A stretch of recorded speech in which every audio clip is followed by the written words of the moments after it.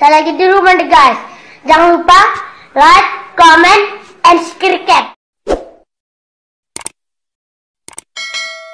siapa asal muasal bahasib dia pun jadi ini adalah keterangan-keterangan tapi bagi saya itu jelas tidak benar kalau dalam ini mau dibicarakan lagi kita bisa hubungi Jakarta ya atau saat sekarang saudara Ahmad Jadilah jelaskan dengan sebenar-benarnya yang 19 bagaimana pendapat saudara Ahmad Jadi 19 itu tidak mungkin.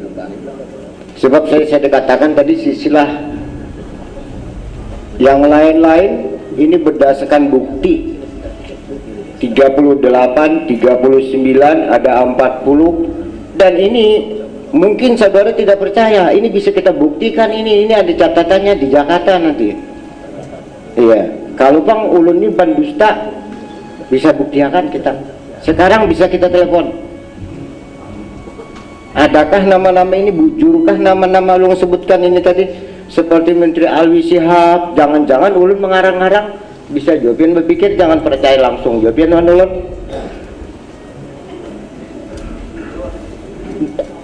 Menteri Alwi Nawar Wan ulun ada sisilahnya nah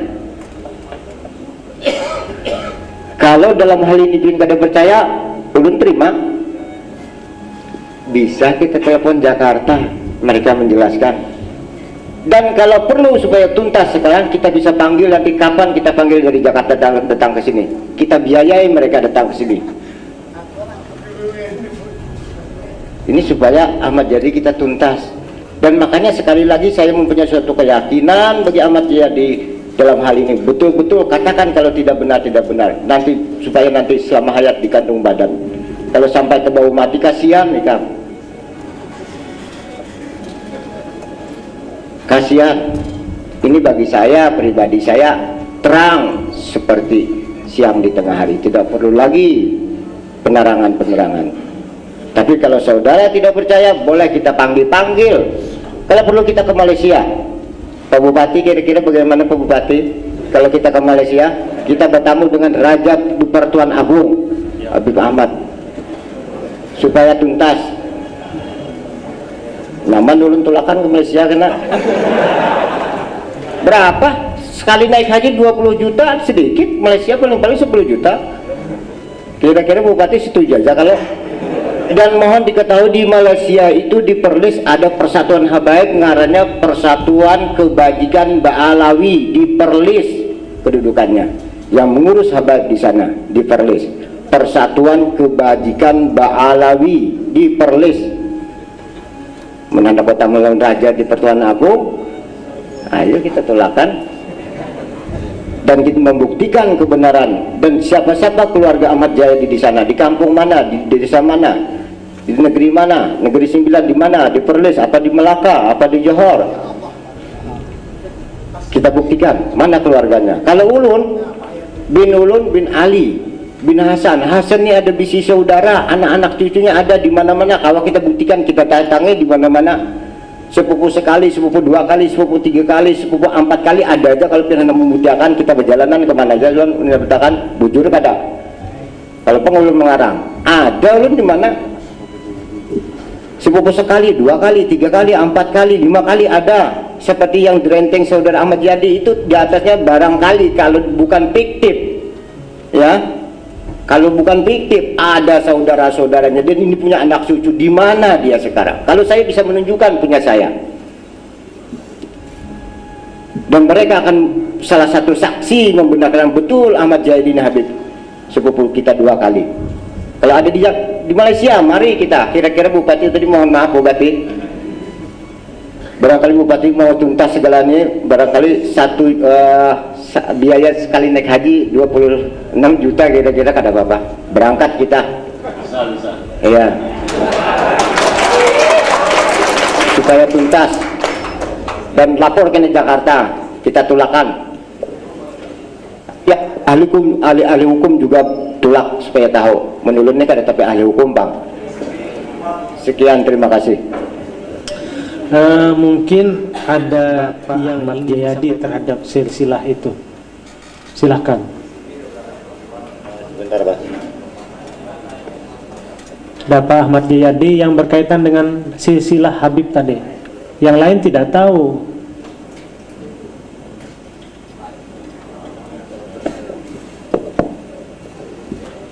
Saya rasa cukup sudah saya dapat kok. Mau beta.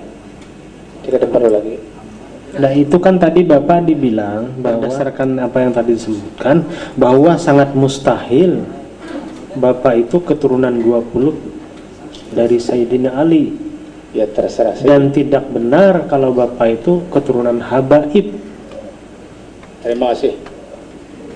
Ada nggak yang di- disampaikan terhadap Tidak. Ya. Terima kasih. Kami pikir untuk identitas sudah jelas seperti apa yang kita sama-sama ikuti. Kemudian, sebagaimana kami jelaskan, eh, mohon maaf dulu, apa ada tambahan dari Muspida atau Pak Bupati atau yang lain? Cukup dari mediator MUI Provinsi? Ada yang ingin disampaikan? Oh iya. Eh, sebagaimana kami sebutkan tadi bahwa pertemuan kita ini adalah rentetan dari pertemuan-pertemuan sebelumnya. Dan tentu saja kita sudah beberapa kali melaksanakan pertemuan baik pihak Darupalah dengan unsur Muspida, kemudian Darupalah dengan pihak MU Majelis Ulama Kabupaten Nusa Utara yang juga difasilitasi oleh pemerintah daerah dan hari ini. Berdasarkan pertemuan-pertemuan sebelumnya dan kegiatan-kegiatan yang telah dilakukan, telah dilakukan pembahasan terhadap materi-materi pengajian yang disampaikan oleh Ahmad Jayadi khususnya yang ada di tempat pengajian Yayasan Darul Falah di Kelurahan Sungai Malang, Amuntai, Kabupaten Nusa Utara. Pengajian-pengajian tersebut dibikin CD-nya. Jadi bisa dikaji ulang oleh pihak lain terhadap materi pengajian tersebut. Kemudian dalam pertemuan-pertemuan pihak Ahmad Jayadi sendiri juga menyampaikan beberapa hal keterangan-keterangan yang berkaitan dengan ajaran, yang berkaitan dengan silsilah dan lain sebagainya.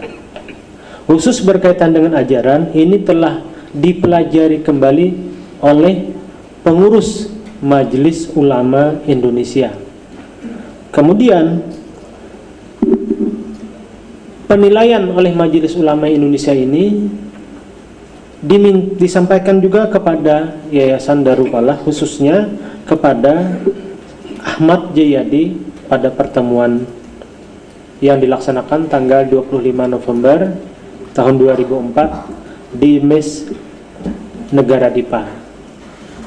Dan atas catatan-catatan yang dipertanyakan oleh pihak Majelis Ulama Indonesia, pihak Yayasan Darupalah dalam hal ini juga telah menyampaikan jawaban-jawaban tertulis terhadap materi yang dinilai oleh Majelis Ulama keliru untuk diajarkan.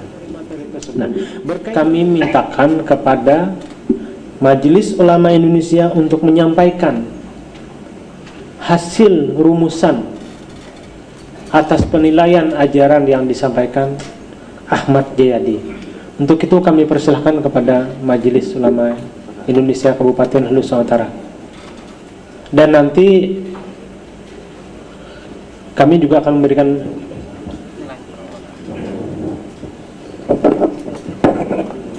dan nanti setelah nanti disampaikan oleh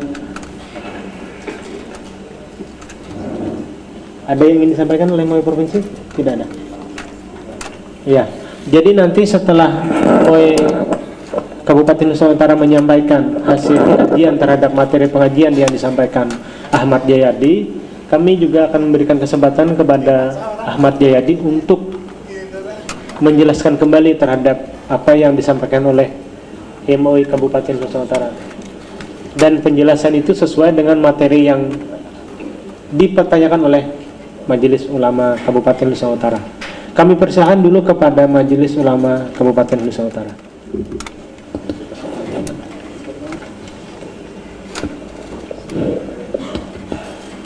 Ada mau? Ada mau? Assalamualaikum warahmatullahi wabarakatuh. Waalaikumsalam Yang warahmatullahi terhormat Bapak Bupati, Ketua DPRD dan Muspida. Oleh moderator dimintakan kepada Majelis Ulama Indonesia untuk menyampaikan pendapat. Maka dari Majelis Ulama Indonesia langsung saja membacakan surat atau fatwa dari Majelis Ulama Indonesia. Bismillahirrahmanirrahim. Majelis Ulama Indonesia Daerah Tingkat 2 Hulusan Utara.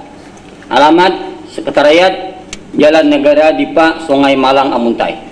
Surat keputusan fatwa Dewan Pimpinan Majelis Ulama Indonesia Daerah Tingkat 2 Hulusan Utara nomor 35 garis miring. MUI garis meletar Hulusan Utara garis miring.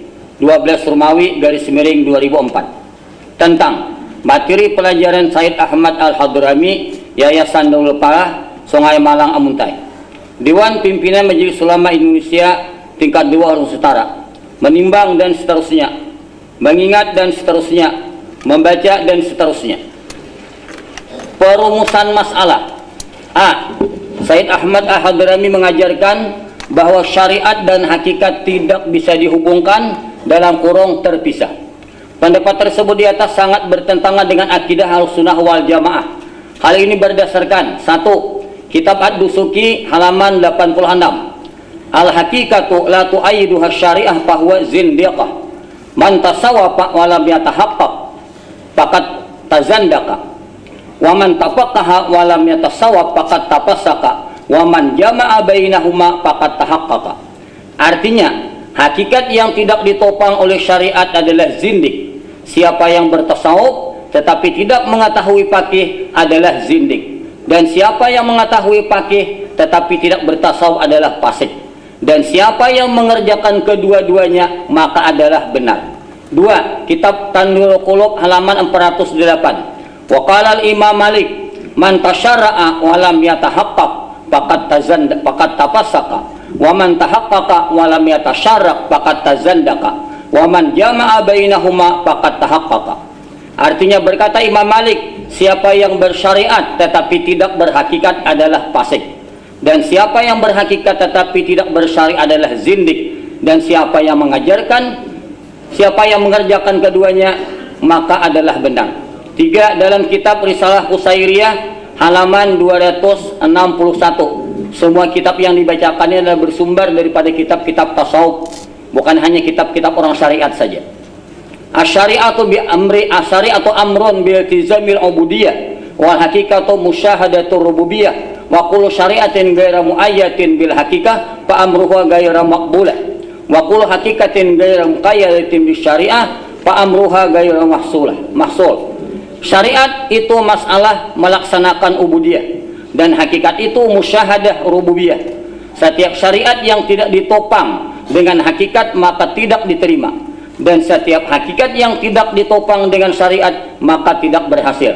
Kesimpulan pertama berdasarkan dalil di atas 1, 2 dan 3 maka Moy berpendapat bahwa antara syariat dan hakikat tidak bisa dipisahkan dalam kurung mutalazimani berlajim-lajiman. Untuk selanjutnya karena majelis ulama ini banyak yang membacakan saya persilahkan kepada Ustadz Haji Ahmad Rafi'i Imam.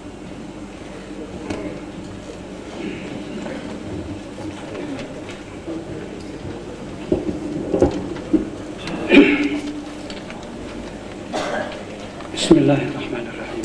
B.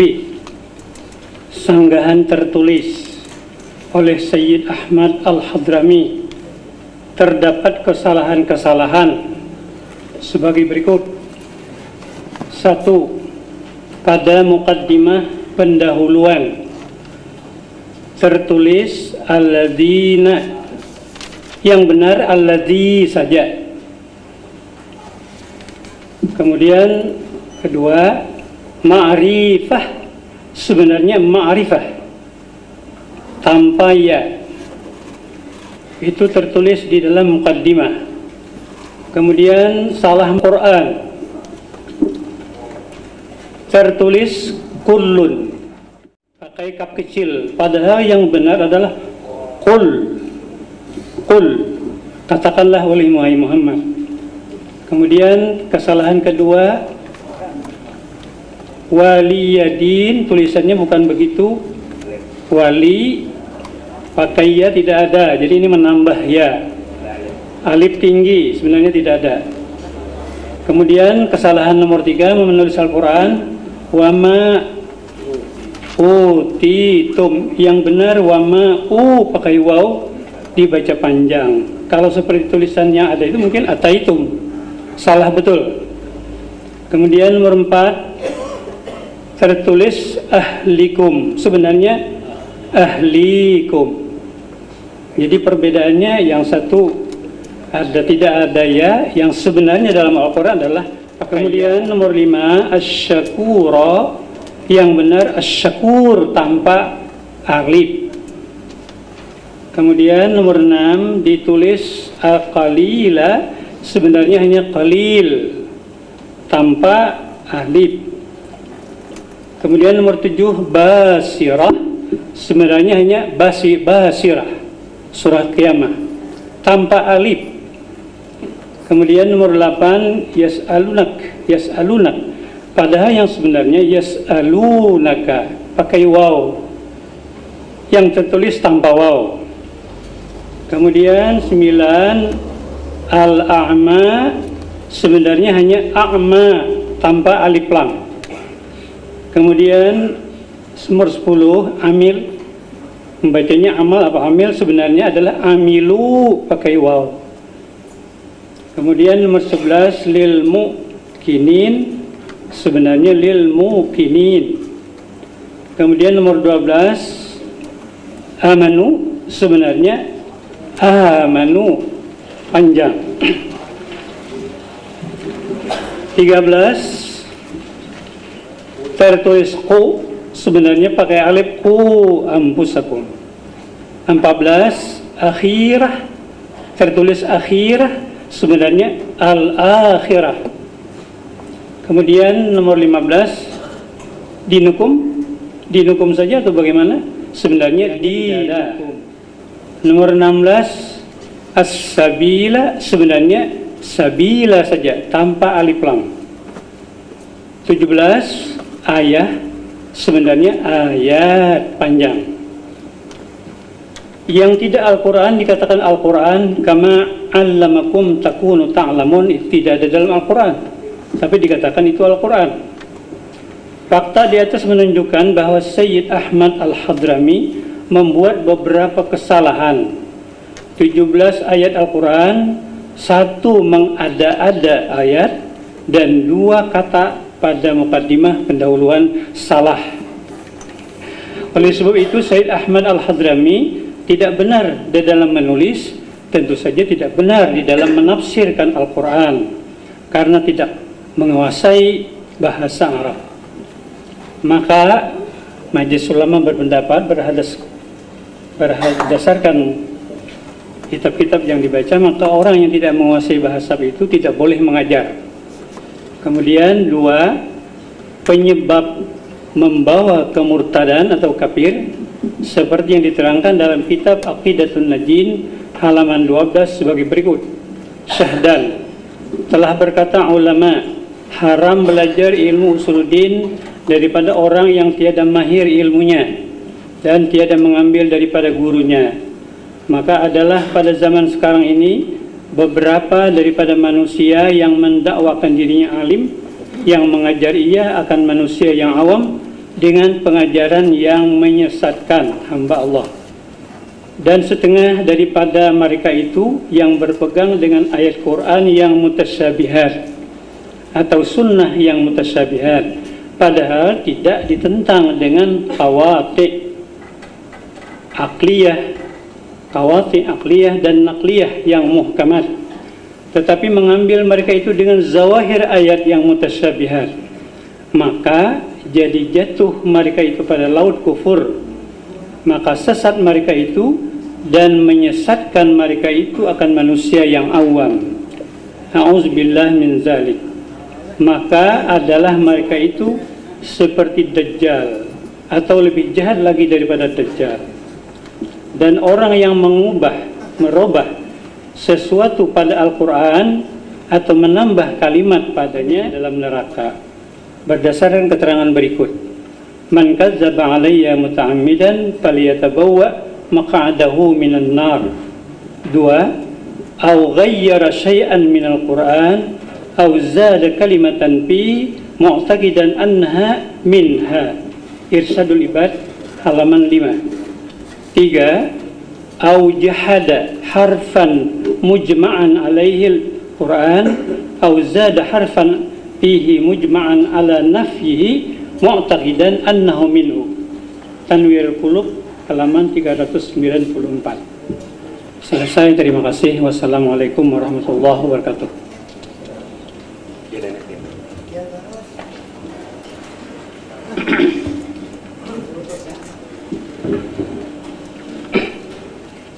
Assalamualaikum warahmatullahi taala wabarakatuh. Baiklah, saya lanjutkan ringkas kata saja bagian C. Di dalam VCD Ultimatum Al-Quran, Said Ahmad Al-Hadrami menyatakan bahwa alam dijadikan dari zat Allah Subhanahu wa Ta'ala. Pendapat ini tidak benar dengan alasan bahwa Allah Subhanahu wa taala menjadikan alam dari tiada kepada ada. Dan siapa yang mengetikatkan dari zat Allah Subhanahu wa taala hukumnya kafir. Sebagaimana keterangan Datu Kalampayan Syekh Arsad Al-Banjari rahimahumullah dalam halaman 32 citakan ketiga karangan eh, keterangan sebagai berikut. Adapun kaum wujudiyah maka adalah iktikadnya dan katanya la ilaha illallah yakni tiada wujudku hanya wujud Allah taala. Yakni bahwa aku wujud Allah. Demikianlah diiktikadkan mereka itu pada makna kalimat yang mulia itu.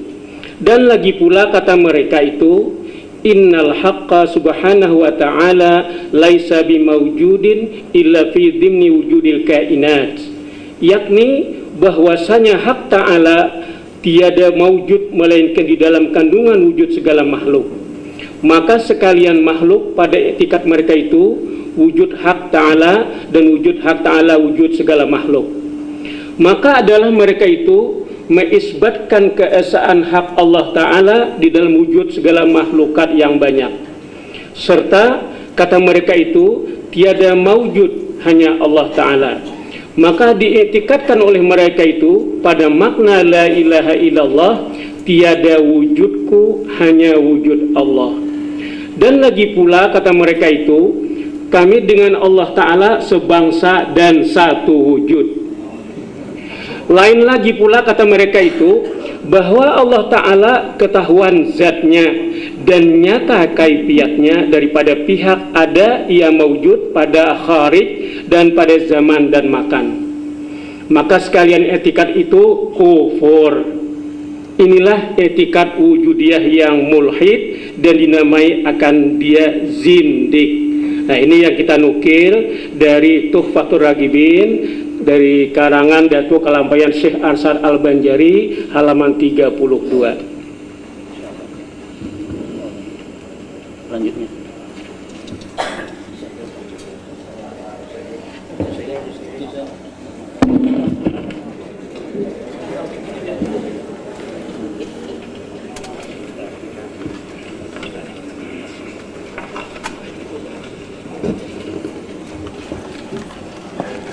Assalamualaikum warahmatullahi wabarakatuh. Oleh pimpinan MOE kepada ulun diminta untuk membacakan masalah selanjutnya.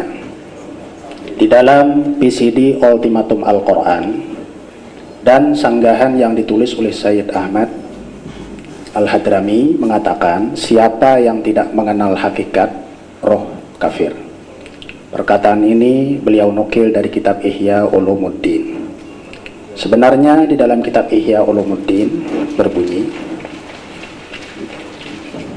Naam La yumkinu kashful ghita'i an kunhi haqiqatil mauti id la yu'raful mautu la ya'riful mauta man la ya'riful hayata. Wa ma'rifatul hayati bima'rifati haqiqatil ruhi fi nafsiha.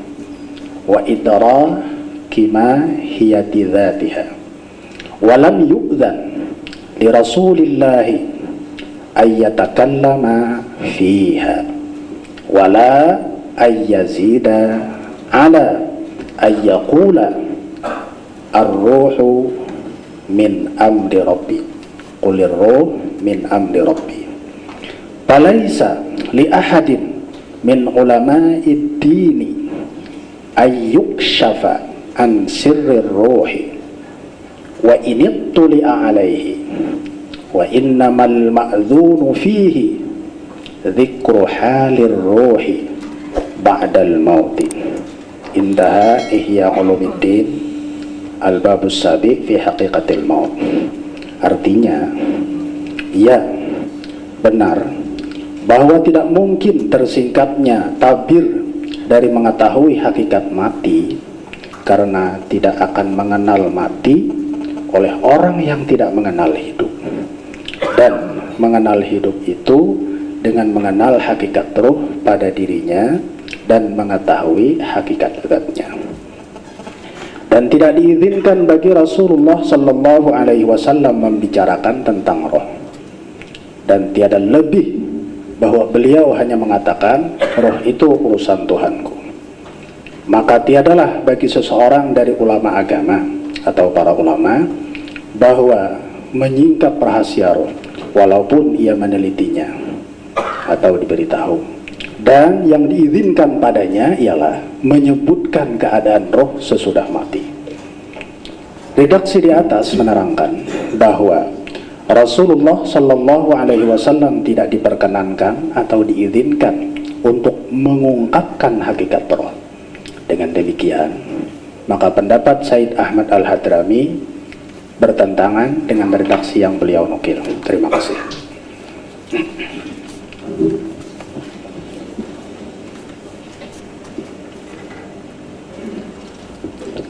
Bismillahirrahmanirrahim.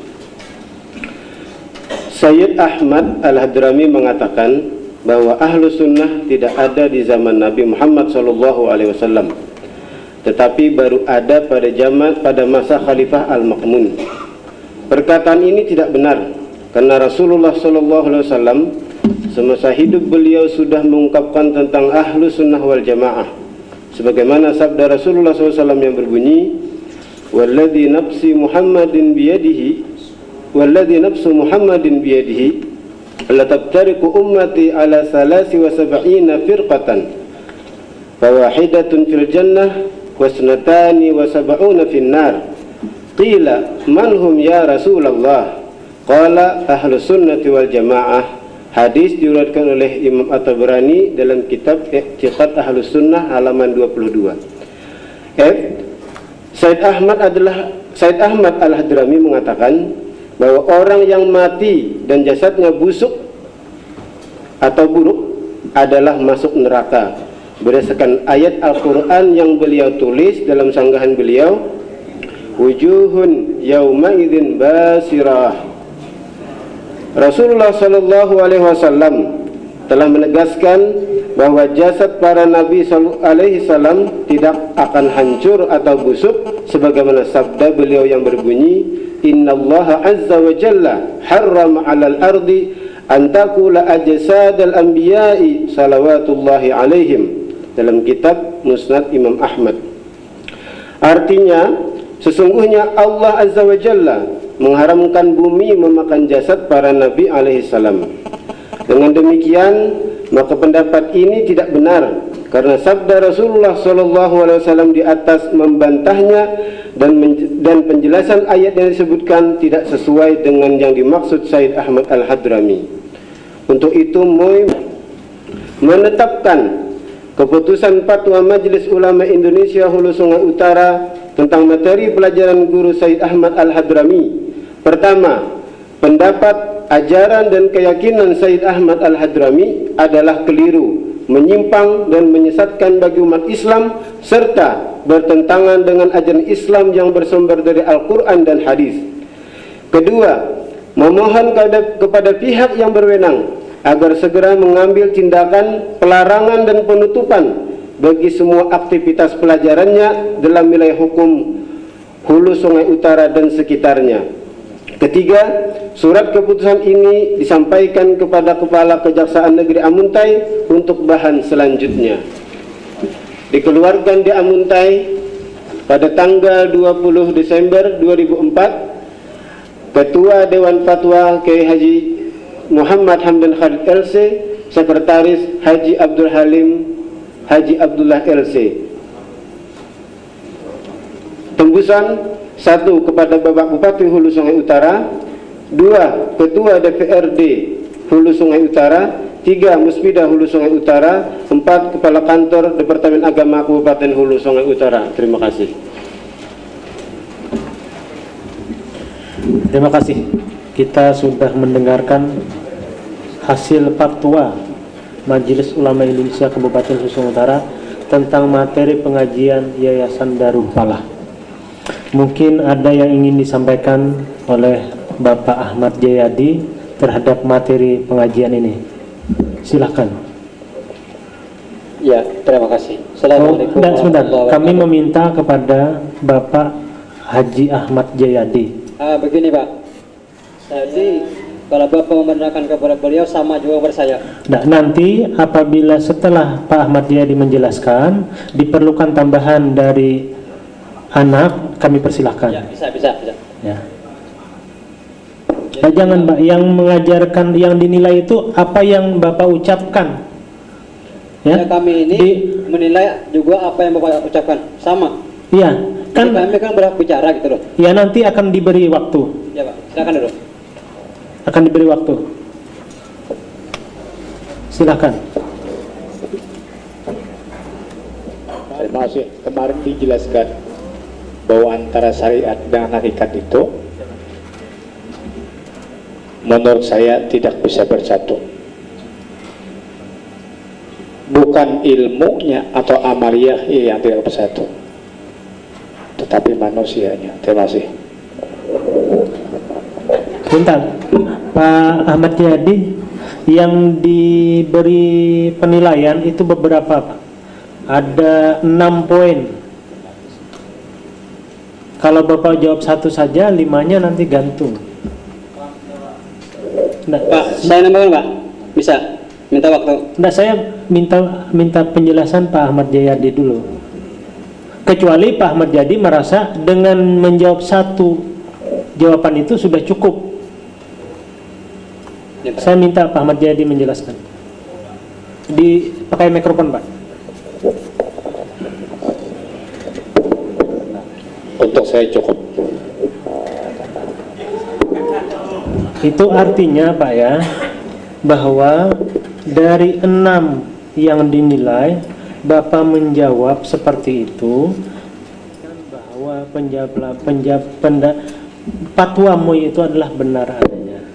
Kemudian jangan demikian Pak, interupsi Pak. Nah, sebentar.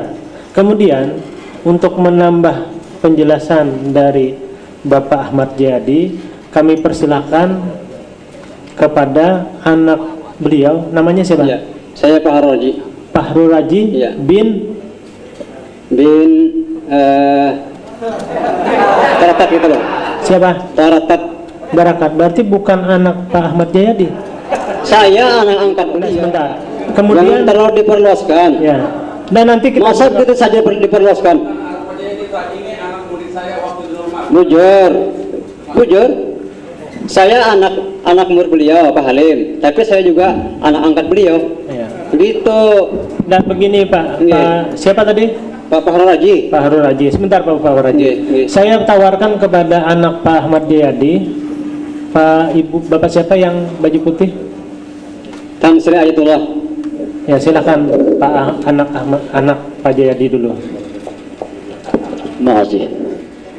Memang syariat dan hakikat itu menurut Bapak berlazim-laziman, betul.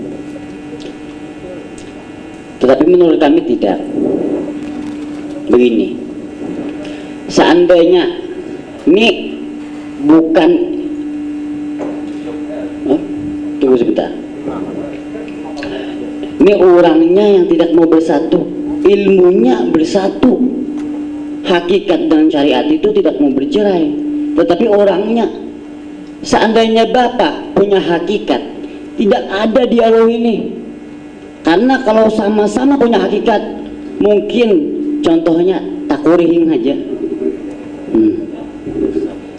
menunjukkan bapak tidak punya hakikat. Hmm.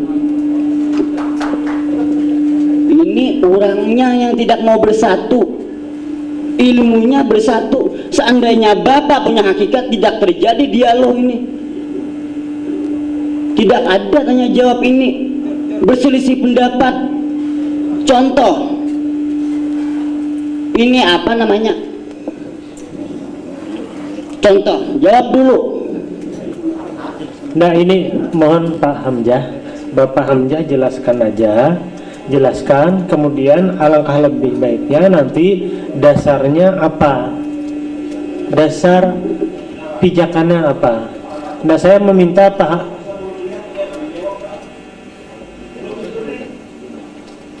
Tadi kan sudah disampaikan. Belum, belum. Dibacakan.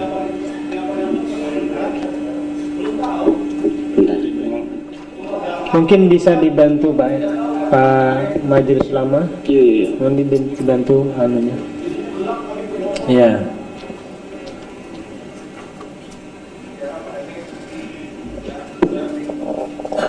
Nah kemudian, enggak saya saya saya minta ke Pak Hamzah dulu. Jadi ini ya, ini kan pada dasarnya materi semuanya ini adalah materi yang Pak Ahmad Jayadi ajarkan. Bukan hal baru sebetulnya. Nah, untuk itu kami ingatkan kembali kepada Pak Hamzah supaya pada saat menjelaskan mungkin ada nukilan kitab atau rujukan atau landasan yang bisa memperkuat pemikiran saudara. Kami persilahkan. Si, saya tidak memang tidak pernah mendengar ya. Tapi saya membenarkan punya bapak bahwa syariat dengan hakikat itu berlazim laziman. Saya membenarkan. Tetapi mungkin bapak menyalahkan kami. Bisa juga sebaliknya saya menyalahkan bapak. Ini lain pendapat. Beda pendapat. Beda pendapat itu tidak bisa diakurkan. Contoh, contohlah mungkin bapak saya tanya bapak menjawab ini buku ya bahwa menjawab ini buku tetapi saya tidak menjawab buku ini ini kayu. Benarkah punya saya? Tidak. Bapak mungkin menjawab ini buku. Betul atau kertas? Kertas ya? tapi saya tidak menjawab ini kertas tetapi kayu. Betulkah punya saya? Tidak. Jawab. Nah itu sementara Pak Hamzah Pak Hamzah kami tadi meminta supaya Pak Hamzah menyebutkan dasar atau pedoman kalau menyebutkan pendapat ini yang salah, pendapat ini yang betul. Kami persilahkan Pak Hamzah dulu. Pak Hamzah dulu. Kan ini fatwa MUI tadi dijelaskan ada dasar-dasar hukumnya. Nah kemudian kalau Pak Hamzah menyatakan hal yang bertentangan dengan fatwa MUI tadi tentu ada dasarnya juga supaya apa? Supaya bisa dijadikan dasar. Silakan. Memang saya tidak punya dasar tidak punya. Tetapi ini beda pendapat saja. Beda pendapat. Contoh orang syariat masuk surga itu lewat amal contohnya. Tetapi orang hakikat masuk surga tanpa amal itu ini beda pendapat saja. Bapak bapak menjawab ini kertas. Saya menjawab ini kayu. Sama asal kertas ini dari kayu asal usulnya. Bapak menjawab ini kertas. Benar betul. Tetapi saya menjawab ini kayu. Karena asal kertas ini kayu terima kasih. Nah, ja- jadi tadi sudah dijelaskan bahwa Pak Saudara Hamzah tidak bisa menjelaskan dasar nukilannya. Dan contoh yang tadi disebutkan dengan menunjukkan kertas bahwa orang menyebut itu kertas dan dia menyebut kayu itu bisa jadi benar apabila dijelaskan asalnya. Tapi karena tidak dijelaskan asalnya sehingga membuat orang yang melihat apa yang ditunjukkan itu menyebutkan kertas. Nah ini ini. Kemudian tadi ada yang ingin ditambahkan oleh saudara Ya, Pak Roji. Fahru Raji silahkan Pak Raji Ya, terima kasih. Eh, beberapa keputusan dari MUI ini ini kami kaji ulang. Jangan memutuskan dengan eh, sebelah pihak. Yang pertama dulu ya. Artinya kalau ini keputusan, kemudian eh, majelis taklim itu ditutup tanpa di disetujui oleh kedua belah pihak, jangan baik, jangan. Karena ilmu itu luas, kitab itu banyak bukan kitab itu pada yang pengen bacain saja mungkin ada kitab yang lebih tinggi daripada ini. Gitu. Jadi seperti itu artinya kalau memutuskan satu perkara itu harus diputuskan dengan secara adil. Eh, menanggapi juga daripada daripada eh, Rasulullah tadi bahwa Rasulullah saja yang matinya tidak buruk itu dijamin dari Allah Taala. Itu benar walal akhiratu khairul laka itu benar. Kap itu menunjukkan khit, kitab kepada Rasul itu benar. Kami telah menyatakan baik ini kan Al-Quran. Tapi apakah ilmu pian sampai di sana saja? Kenyataannya bagaimana? Apakah Rasulullah saja yang dijamin? Untuk tubuhnya utuh kita bagaimana? Pian senang kalau Rasulullah itu tubuhnya utuh. Tapi lebih senang kalau kita pun tubuhnya utuh Ah, saudara Fahru Raji Iya, ya. kita sudah menyampaikan beberapa materi tentang pengajian Darul Falah.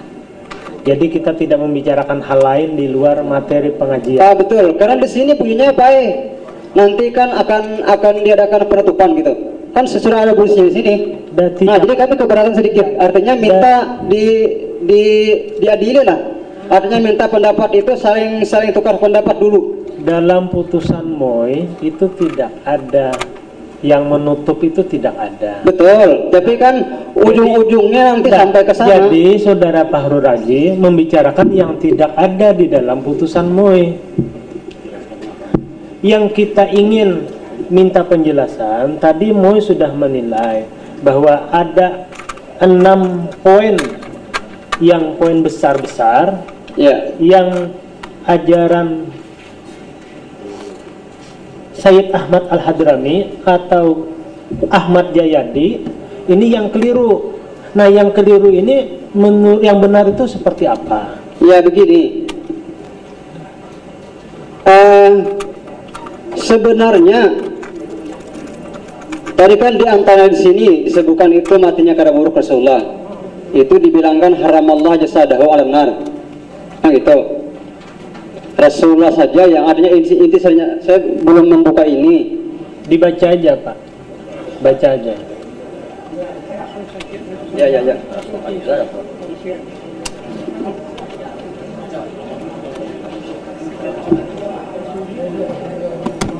Kami jadi tidak, tidak membaca karena redaksi ini tadi kada sampai kami lebih dahulu. Ya, itu kan sudah disampaikan itu. Ya, ini sampaikan.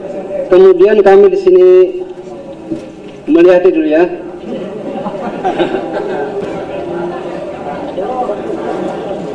Iya.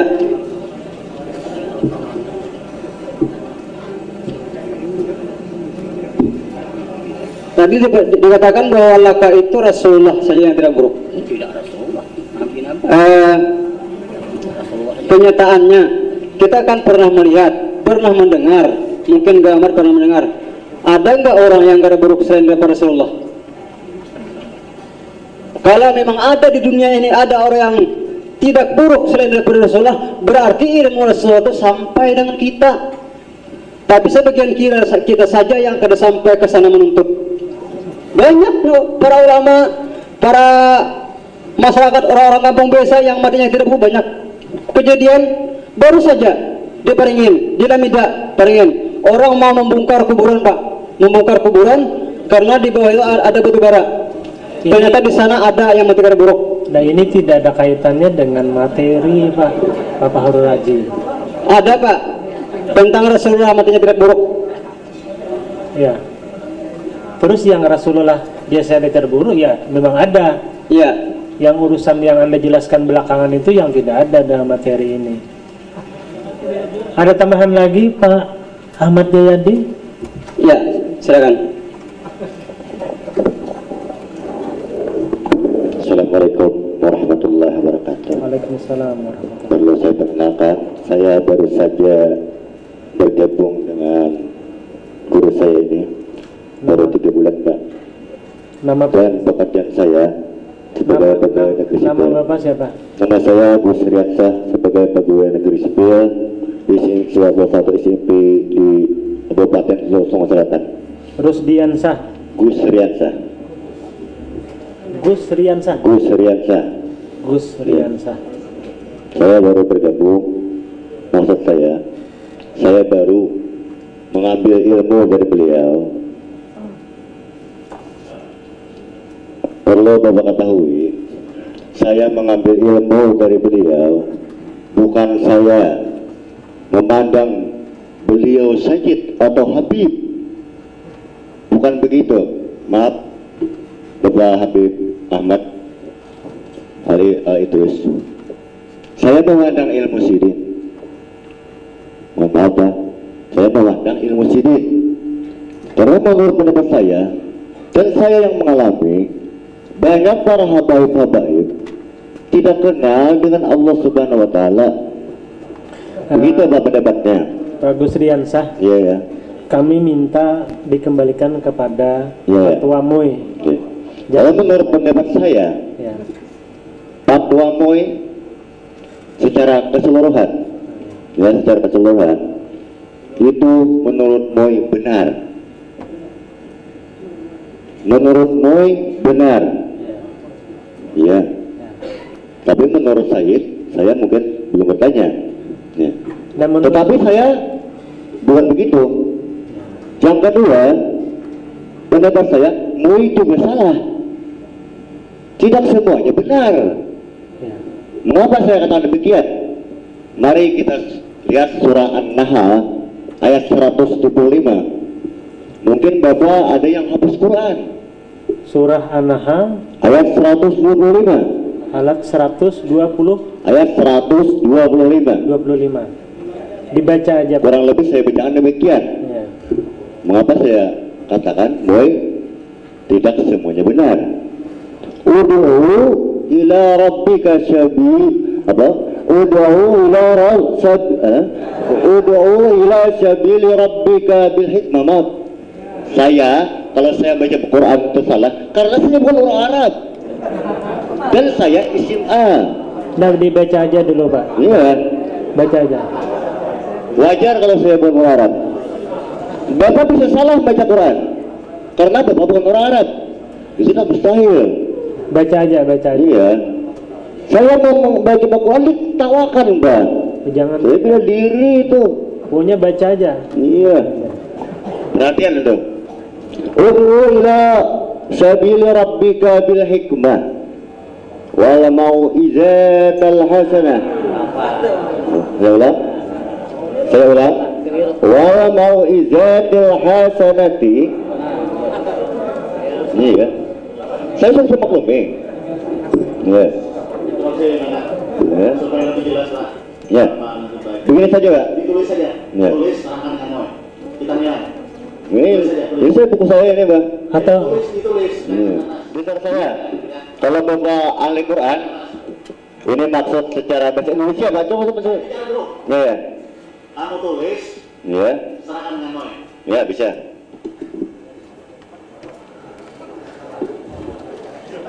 Jadi saya tidak bisa menghadapi seperti ini. Karena eh, saya iya, bukan aja, ulama. Ditulis saja dulu.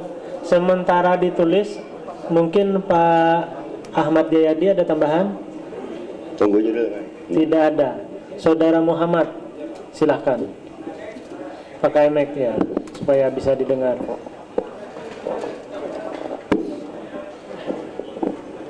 Assalamualaikum warahmatullahi wabarakatuh. Assalamualaikum warahmatullahi wabarakatuh. Bisa bisa lebih dekat mic-nya supaya jelas ya.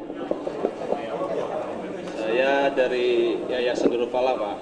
Saya kan dulu sebagai ketua. Kemarin saya kan mundur. Mic-nya di anu didekatkan. Jadi, Ya. saya kemarin ketua, Pak. Namun saya mundur pada tanggal 20 Dan namanya siapa? Muhammad, Pak. Muhammad. Jadi saya kemarin ketua, kemudian saya mundur kan akibat saya ada permasalahan di Samarinda, saya mundur. Lalu Ketua- saya serahkan ketua, ketua- yayasan, Pak. Oh, ketua Yayasan Darul Ya, Falah. ya. Jadi saya di sini berbicara sebagai jemaah. Habis itu mundur. Enggak pak, waktu ketua saya kan ketua eh, masih masih aktif. Sekarang saya mundur, tapi saya berbicara sebagai jemaah pak. Oh ya. Ya jadi beberapa ketahui. Saya ingin membahas masalah eh, rancangan ini pak. Yang pertama masalah membaca itu pak, halaman muka. Satu laporan tertulis oleh masyarakat Sungai Malang, tertanggal 26. Ini menurut saya, ini masih legal, masih legal. Kenapa? Kenapa pengaduan ini tidak diperjelas dan tidak dipertegas? Ini kan bisa direkayasa, Pak. Semestinya ada KTP, alamat tempat tinggal. Mereka perlu diperiksa dulu, Pak. Rasanya yang bagaimana? Kalau ini kan cuma bisa seperti ya apalah mode yang ada-ada saya anggap. Dan ini menurut perkiraan saya ini semacam keterangan palsu Pak, tidak jelas alamat pengadu. Walaupun satu orang Pak, tapi ini harus diperjelas ada KTP yang 20 yang 94 orang. Nah, ini saya anggap tidak benar pengaduan ini. Jadi kalau pengaduan ini tidak benar, apa pun yang dibuat oleh Boy hasilnya tidak benar. Ini secara hukum Pak ya. Tapi bukan ahli hukum, saya sangat mengerti Pak tentang masalah ini Pak. Jadi saya anggap ini semacam serangkaian kata-kata bohong Pak. Seolah-olah benar. Karena tidak ada KTP dan mereka tidak perlu diperiksa. Yang yang bagaimana? Mereka belum mengetahui kejadian, sudah menimbulkan keresahan. Ini menurut saya, Pak. Sementara ini, jadi saya menilai ini semacam keterangan palsu dan penipuan publik yang dilakukan oleh mereka-mereka yang tidak bertanggung jawab secara hukum, Pak. Saya anggap batal, Pak, ini. Batal. Kenapa? Karena tidak ada KTP. Musiah orangnya diam di Luk Bangkai, di Luk Bangkai, alamatnya di Sungai Malang, kan tidak tahu ini, kan tidak jelas. Tanda tangannya juga sama, Pak, banyak. Yang nomor berapa ini? Di, di mana ada tahu tanda tangan sama? Ini Pak, ada kemiripan gitu loh Pak. Mungkin satu orang aja ini Pak, mungkin ini keempat buat keempat Yang jelas identitas mereka tidak jelas secara hukum. Ini pun saya dari yayasan akan mengajukan gugatan ke pengadilan secara perdata. Namun karena tidak dalam bagaimana kami menggugat mereka yang bersangkutan. Itu bakal diperhatikan Pak. Dan untuk yayasan tidak bisa ditutup Pak. Tetapi kalau ajaran silahkan tutup. Bagaimana Pak? Ak- Kami akan cari ganti yang lebih baik lagi. Tapi kalau yayasan maaf dan ditutup. Ya. Ini aja, terima kasih. Assalamualaikum warahmatullahi wabarakatuh. Pertama terima kasih. Anda berbicara sebagai jamaah. Tidak ada kaitannya dengan yayasan, tapi sangat ada kaitan dengan materi pengajian karena jamaah. Ya. Karena itu Anda tidak punya relevan sebetulnya untuk bicara yayasan. Kebetulan Anda adalah bekas ketua yayasan. Kemudian segala dokumen tentang eh, tentang surat masyarakat Anda sudah punya. Dan kalau Anda keberatan terhadap dokumen itu Anda berhak mengajukan secara hukum gugatan apabila memang itu dianggap perlu oleh saudara. Ya itu. Kemudian saya kembalikan kepada pihak pengajian apa ada tambahan lagi penjelasan oh ya itu mohon dibantu mungkin di di anu pak dilihat Satu dua. Saya ulangi pendapat saya ya Pak. Nah, sebentar, sebentar. Sudah diterima, Pak ya? Nah, karena sudah diterima, saya mintakan kepada saudara Fahru Raji membaca apa yang disampaikan di sana. Coba baca di buku pian, kemudian supaya Maaf bu, nama saya pun Paror aja pak. Oh Gus Riansah, maaf. Nah, bapak bisa salah juga. Gus Riansah. Ya. Dan saya saja yang salah. Ya. Perlu diingat itu. Silakan Pak Gus Riansah. Ud'u ila sabili rabbika. Maaf, yang hafal Al-Quran. Serulah manusia ke jalan Tuhan kamu. Bil hikmah dengan hikmah. Wal mau'izatil hasanah. Silakan Bapak. Wal mau'izatil hasanah. Dengan beri pelajaran yang baik. Wajadilhum billati ahsan. Wajadilhum billati ahsan. Kurang lebih sedemikian. Saya tidak katakan, saya bisa salah, Anda pun bisa salah. Lanjut lanjutkan aja. Iya. Lanjutkan aja. Ya, ada artinya saja. Sekarang saya bukan ahli nahu. Iya. Kenapa saya katakan salah? Wajah. Bapak membantah Sayyid Tidak terus saja. bukan dengan cara yang baik. Ditambah saya bisa salah. Ini sebenarnya. Yang kedua, Bapak harap pada Allah Ta'ala.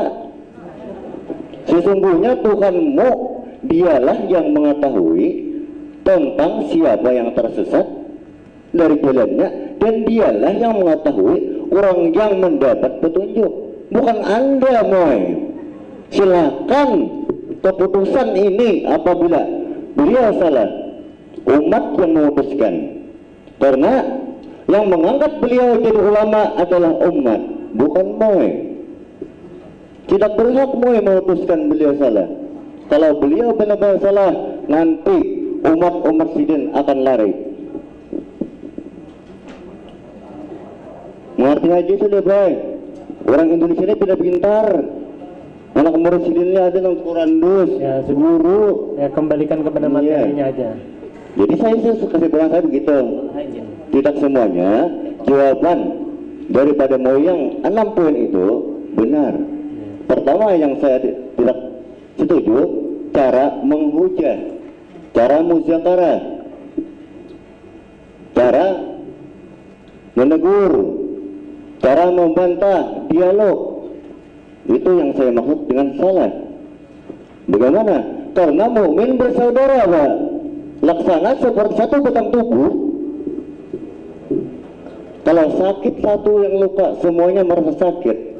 Sekarang Sayyid ini terluka. Bapak orang mukmin benar atau tidak? Pasti anda mendapat momen sekarang saudara anda terluka. Tolong Islam makan bahasa tolong tobatkan kalau anda mampu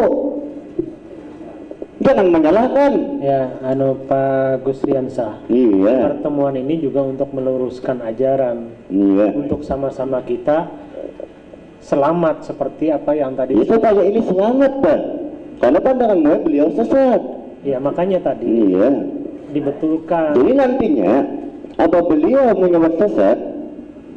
Ini saya sebagai usul, tolong dari bapak-bapak ini hajari dalam majlis berfalah. Ingat, salah satu dari bapak atau semuanya secara bergilir tolong ajari umat-umat sidin yang tersesat. Saya usul satu pak, dan ini harus dicatat dengan garis bawah. Karena keputusan ulama begitu. Kalau bisa menguji salah, bisa menguji kan boy. Jangan bisa menyebut salah aja. Saya lagi dulu guys. Jangan lupa like, comment, and subscribe.